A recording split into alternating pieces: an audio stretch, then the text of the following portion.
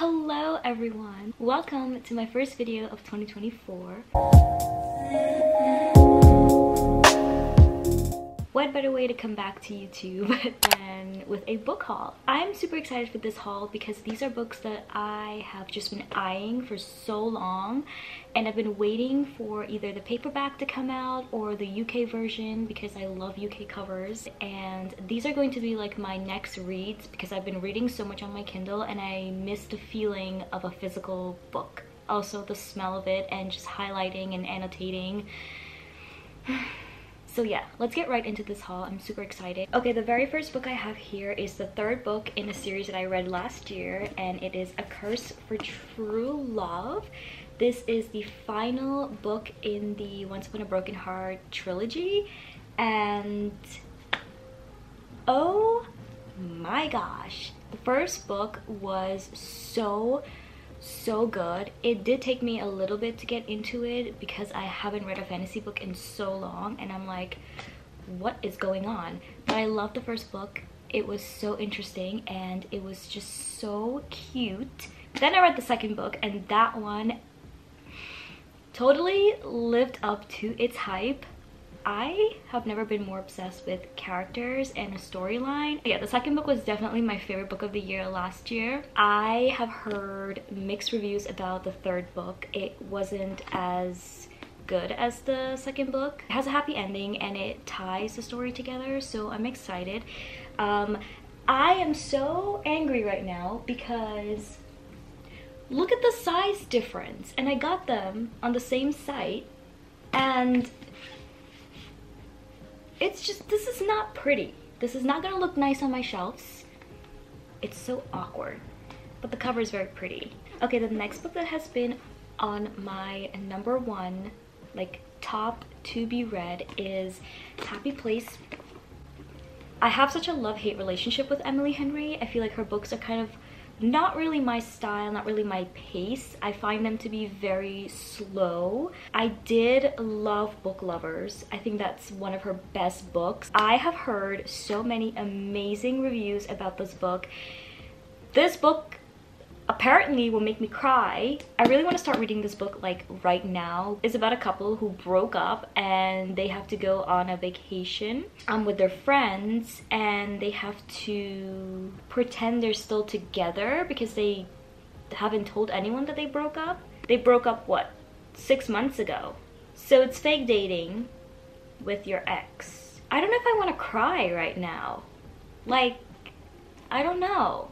I have been waiting for the paperback UK cover to come out for so long, but it's so pretty. It's gonna look so stunning on my shelves. By the way, I have bookshelves. I don't know how long ago. I don't know when was the last video I filmed where I didn't have a bookshelf, but I finally have bookshelves. I should have started out this video introducing you to my new bookshelf. She's still a work in progress. Um, this is not enough for my books. I literally have a bag of books on the floor that I can't, I, I don't really want to display them because they're like dark romance and just like dark cover books. I have two bookshelves. Maybe I'll do a bookshelf tour when I have her completely decorated and all cute looking. But this is gonna be my next book I wanna read, hopefully. Let's see what mood I'm in by the end of this video. I totally forgot I bought this book and now I want to read this next. It's Betting on You by Lynn Painter. Um, if you don't know, Lynn Painter is one of my favorite authors. She writes super cute and super hilarious young adult romance. Highly recommend her if you're into a fun, quick, easy read to get you out of your slump or whatever. I believe this book is fake dating as well, but it's supposed to be a very cheery, vibrant, fun read. I have loved every single Lynn Painter book that I've read and I just know that this is gonna be amazing as well. Better Than the Movies is my top favorite book from her and there's going to be a part two. Cannot wait for that. I'm so excited. Okay, the next five books that I have here is actually an entire series. This series has been all over my Pinterest. Pinterest, you guys. That's what my social media has been. Pinterest for the past seven months. Um, Pinterest, I've had some of my book friends recommend the series to me. It's supposed to be like a very sweet um, romance, I think. There's some heartbreak. I'm not sure. But I'm kind of scared to start the series, and I feel like I need to not start the series like right away. I don't know which is which, what goes in what order, but I have no idea what the series is called. It's called something. Is it Chestnut Springs series? It's by Elsie Silver. It's it's this. There's hopeless, there's heartless, there's reckless, powerless, and flawless. Maybe it'll tell me the series name inside the book, the back of the book. Ah! It's called the Chestnut Springs series. I have no idea what this series is about. I think it kind of, it's giving me like country, bull riding type of vibe. It's giving me like the longest ride type of vibe. Um, I love that book. Oh my goodness. That book was so good. I don't even know if this is about like each couple or like their friends or family, whatever it is. No idea. Look how pretty the cover is. Did I buy it for the cover? Possibly. I will find out. I'm going into it blind whenever I do. Um, idea. Maybe I should do a reading vlog on this series. Since I have absolutely no idea what is going on and who these characters are and what they do for a living, I should probably go into this blind and vlog the whole thing. That will be my next video in six months.